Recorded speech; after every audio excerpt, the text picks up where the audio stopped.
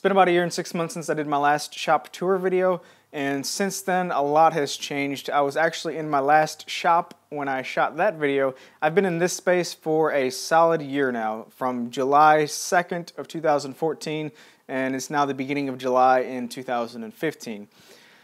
Now, there's a couple things I said in that last shop tour video I want to talk about real quick. The first one is that I'm not really much, I'm not really a tool guy, and you can pretty much throw that out the window. I have upgraded a lot of my tools since then, and um, it is what it is. You know, you can get a lot of really awesome projects done with inexpensive tools, and buying more quality tools may or may not increase the enjoyment of the process. And that's a decision that you need to make. I'm not telling you you need to upgrade anything or what tools you need to buy. So, for whatever that's worth. And the second thing I said in that video was, which relates to the first thing, is it's not the arrow, it's the Indian. Tools are just tools. They're just going to sit there unless you tell them what to do. So whether you do have nice tools or whether you have inexpensive, uh, inexpensive tools, it really doesn't matter too much you can still accomplish really awesome things. So, whatever that's worth, don't let that discourage you.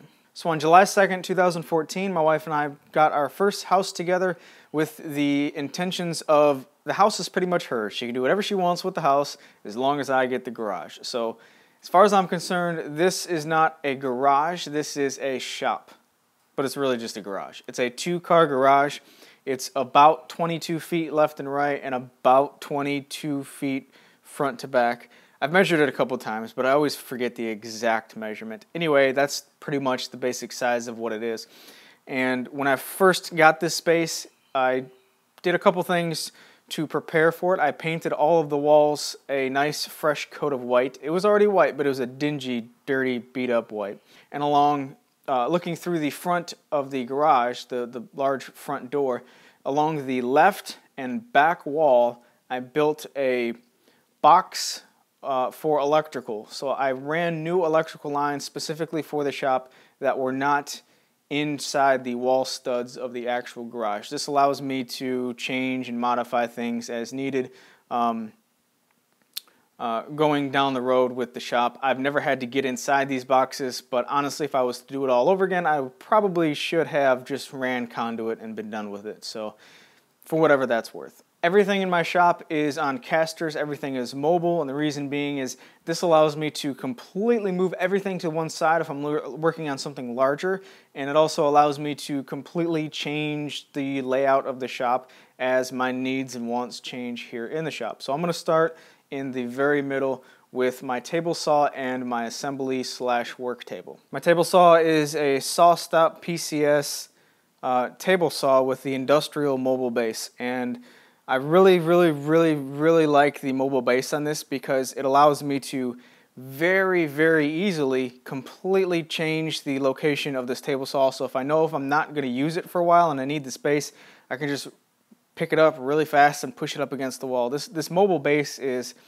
it's ridiculously easy to move. So having the the heaviest tool in my shop be able to move pretty much the easiest is very convenient. And I've also spray painted a couple spots on the floor where the uh, extension wing supports reside in their almost permanent location. So if I'm going to set this up for a normal task or whatever, or in its normal location in the shop, this gives me a nice little spot or reference point so I always know I'm going to put the table saw back in its its familiar location. The dust collection is hooked up to the back side of the cabinet with a couple pieces of flexible hose and some 4 inch PVC pipe.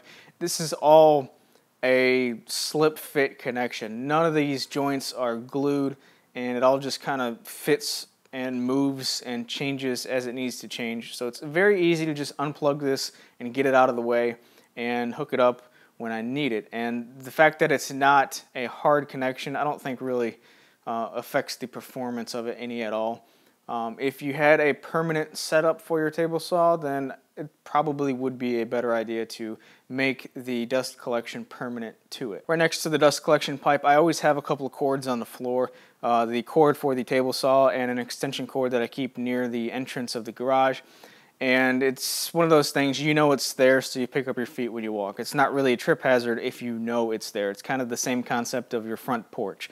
You know you have to pick up your feet to get in the door so you pick up your feet. Right behind my table saw is a four foot by eight foot slightly modified version of the Paulk workbench. It's Ron Paulk's original somewhat design that i modified to have here in my shop. And it's a full four feet by eight feet work surface, which is the first time I, I built this like five or six weeks ago, and it's the first time that I've had a full four by eight work surface here in my shop. And the increased space that I have from this compared to my last assembly table or work table, whatever you want to call it, has just been very convenient. I've got it piled full of crap right now. These are some 2x10s for an upcoming project that I need to move.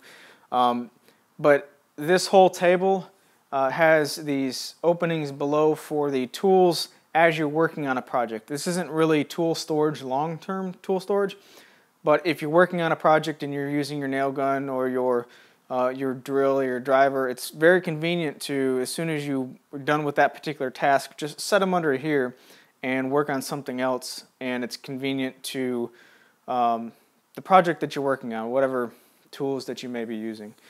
And this whole table is on casters, so it can be rolled anywhere in the shop to um, free up space as needed.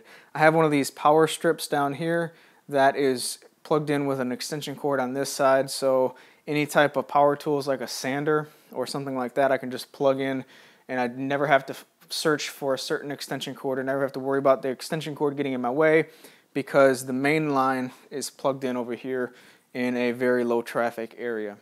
Below that is a shelf that I have my X-Carve CNC machine on. And the original intention for this was to have a spot to store the X-Carve and then pull out and put on top as needed. But there's enough space down there that I can just leave it down there, plug it in, and cut uh, as it sits down there, which is what I've been doing so far. As I said, everything in the shop is mobile, so you can move it out of the way as needed. And I wanted to show you the center two items first. That way I can push them off to one side as I'm showing you guys the other side of the shop. So to start along the perimeter, I'm gonna go right behind the camera and show you the first corner as you come through the large garage door on your right hand side. Immediately on this wall is my rolling plywood cart and I just made this and it's working out really well for me. It's very easy to roll around and I can roll it outside to unload plywood onto the cart directly from my truck and I can also roll it right behind the table saw to make uh, to ease the uh, process of putting the table or putting the plywood onto the table saw. I don't have to pick it up and carry it all the way around to the backside. So it's working out really well and it stores all the sheet goods on the back side of the cart. Up next is my universal clamp rack and I made this so that it has a universal holder design so that this one particular shape that I cut in all the slots will fit or accommodate every single one of the clamps that I have. And this has turned out to be very handy. It's very convenient to just walk to one place where you know all your clamps are going to be. So I'm very happy that I made both of these two and they were actually I think the last two projects that I made here in the shop. After the clamp rack is my finishing supply rack and this I've outgrown. It's The concept is to have shorter shelves down here for these quart size uh, finishing supplies and also to have angled shelves up here that fit uh, spray paint and anything that resembles spray paint like glue bottles. Um, but like I said, I've pretty much outgrown it and I've started to store some of this stuff inside my locking metal cabinet. So I may make this thing taller at a later date, but I've already made one of these on a video, so I'm not going to record it or anything like that. Um, this is my welder. I've made one welding project on this channel, uh, and I've used it three or four times since then, but didn't record it, just household stuff here and there. Uh, it's very handy to have a welder around the house for um, repairs and stuff of that nature. Um, that's mainly the reason why I got it.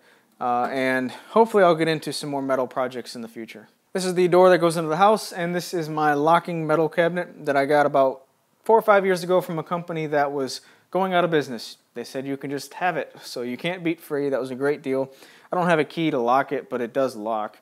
And also, uh, this is pretty much a community cabinet, I guess you could say. Like six months ago on my vlog channel, I asked if anybody had any stickers for their business uh, that I could purchase. And since then, I've only purchased, I think, like six of the stickers that are on here. The rest of the stuff have has just been sent to me by all of you out there. So this is a community collage, I guess. It grows every week and it's very awesome. And I very much appreciate all those who have already sent me a sticker.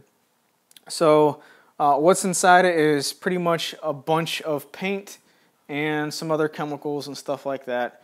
Um, it's not really organized at all, but it's very handy to have here in the shop. On this wall I have some of my table saw attachments, a rolling toolbox for more uh, mechanics style tools, ratchets and wrenches and stuff like that. And then also a dry erase board that I made for my wife several years ago that we never ended up using in the house, so I confiscated it for in the shop. And that was about two years ago that I put it in the shop. And the first day I wrote a clean shop is a safe shop and haven't erased it since. Uh, that was something that my seventh or eighth grade shop teacher once said, and it's kind of just stuck with me. And I really like having a nice, clean, and organized shop. So before I make any project, the very first step for that particular project is always to clean the shop. It's very inviting and encouraging to work in a clean and organized space. Taking up 14 and a half feet on the back wall, starting in the left corner, is my miter saw station. And this is one of those projects that I should have done, or I wish I would have done when I first started the shop. The increase in storage, organization, and ease of use on the miter saw setup has just been tremendous. I absolutely love this thing, and it's just it's just awesome. So we got 20 drawers that are on full extension slides, and they are all 24 inches deep and then I've got one tray that is on 26 inches slide, 26 inch slides for my benchtop planer that I really don't use that often. Uh, it just keeps it out of the way. Now up here on the top I've got cubby holes or bins, whatever you want to call them, for stuff that is commonly used like my um, hand tool assortment and then stuff that really doesn't need to be, be protected by the dust like my old drill press table and belt sander platform thing. So above that is just miscellaneous storage that I've never really organized, but it really doesn't matter. Uh, where my ladder is and some other jigs and stuff like that. Above the miter saw station along the entire length of the wall, minus the area needed to get into the attic above here, is a set of shelves, um, what I'm calling wasted space garage shelves. And it's just a place to store household items that uh, I don't want taking up space here in my shop. Also some other boxes and stuff that I use for shipping occasionally. Just random crap. Tucked into the lower left hand corner of the miter saw station, out of the way is my air compressor. It's a 5 horse 20 gallon air compressor. It's an oilless air compressor so it's loud and obnoxious. I don't have any desire to enclose it in some type of sound containment area or put it outside because I really don't use it that often and I have the air hose line for it run along this back wall to the front corner of the garage door. On the ceiling I have four 8 foot light fixtures and each one of those fixtures has four 4 foot T8 6500K fluorescent bulbs. So this gives me a total of 16 bulbs in the ceiling and I wish I would have put two more 8 foot fixtures above the garage door on a separate switch. That way I can turn them on when the garage door is shut because when the garage door is shut, it gets kind of dark in that corner uh, on camera. But that's something I can do at any other time. I live in central Mississippi where the summers are very warm and extremely humid and I don't have air conditioning here in the shop. I don't want to go through the hassle of putting insulation in the walls and I just don't think that the investment is greater than the reward for making this shop uh, insulated and air conditioned. So what I do have is a simple box fan and I just run the fan anytime I'm not concerned with the audio on the videos which is like when I'm running a table saw or running any other tool or just doing a miscellaneous task then I'll run the fan. But if I'm talking then the fan gets turned off because having that in the background is extremely annoying. And that is also pretty much always stays into this corner where I store my vertical tools basically on this wall. And like I said, I live in Miss Mississippi, uh, but I do have a lot of Detroit's sports gear around here, and that's because I uh, I grew up in Livonia, Michigan. It's just west of Detroit, and I moved away when I was 14 or 15 years old. So I grew up as a big big Red Wings fan and a fan of the really crappy Detroit Lions in the late 90s. Um, but I, I never really was a fan of baseball, so that's probably why you don't see a Detroit Tigers flag around here. And then this is where I store my vertical tools that are also on wheels I can move out as needed. This is my Cyclone and Shop Vac cart, and it's extremely handy. It's been very nice to have all of this stuff located in one little spot that is easy to just grab and move around. So on the front side, like I said, is my Shop Vac and Cyclone. And they're all hooked up together. And I have all of my attachments and tools on this back side, the different hoses that I have, and the attachment wands to go with it. So this is very nice to just roll to where you're working and attach it right to a random orbital sander or whatever you want and uh, roll out of the way when it's not needed. The cord on the shop vac is long enough to where it pretty much stays plugged in at all times and I can reach just about everywhere here in the shop. And for cleaning up areas of the floor uh, very quickly, I can also use this as a vacuum to just suck up the crap on the floor. So this has been very handy to have. This is a 13 inch bench top drill press and it's sitting on a nightstand that I found in the trash and put some uh, computer chair casters on the bottom of it. And these casters actually ride really, really easily and they've held up really well. I've done this, uh, I put this whole setup together uh, almost two years ago and it's it's working out just fine. And because this is a nightstand down here at the bottom, I've got two drawers for storage, which are just piled full of miscellaneous drill bits and crap that have no organization to them, and I barely ever use the drawers anyway. Behind the drill press and bandsaw, I have a little shelf for items that are used at the drill press and bandsaw. So I've got my uh, FastCap drill bit set over here, and then some other stuff for the bandsaw, like some push blocks and stuff like that. Uh, this ends up collecting crap more than anything else. So I don't know if I'll ever do anything with this space, but it's not really optimized or organized that well. My bandsaw is a Grizzly G0555 LANV. It's their 30th, 30th anniversary edition bandsaw, 14 inch bandsaw. It's been a really solid performer. I have zero complaints with this, other than the dust collection. Dust collection really sucks on this thing, and that's not a deal breaker for me. I most of the time, honestly, if I'm just making one or two little cuts here and there, I don't even turn the dust collection on. So as you can see, it pretty much stays in this state of dustiness. Next up from the bandsaw is my lumber rack and small pieces storage dresser. This is a dresser that I found in the trash uh, several several years ago and have used it for various different uses. It was a miter saw station at one point, planer stand slash station in two different setups at one point. It was a workbench top at one point, and now I'm just using it to store smaller offcuts until I get rid of it.